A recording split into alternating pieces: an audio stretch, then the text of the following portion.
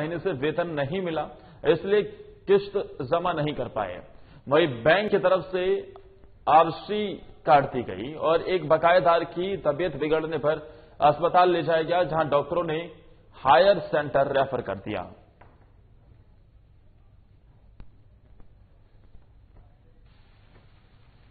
ऐसा है सर हमारा चौदह महीने से सैलरी नहीं मिली है। हमने बैंक से सैलरी लोन लिया हुआ था। वो सैलरी अभी हमारा लोन जमा नहीं हो पाया। सैलरी हमें चौदह महीने से मिली ठीक विभाग से हम कह रहे हैं कि हमें पैसा दे दीजिए। और विभाग पैसा देने को तैयार नहीं है। कह हमारे पास पैसा नहीं है। अब आप बताइए, हम क्या करें? हमारे नाम की आरसी कार्ड दी गई हमें चौदह महीने से सैलरी नहीं मिली बच्चे भूखे मर रहे हैं। ठीक स्कूल की फ़ीस जमा नहीं हो रही। स्कूल से डेली फ़ोन आ रहे हैं। फ़ीस जमा करिए, फ़ीस जमा करिए। हम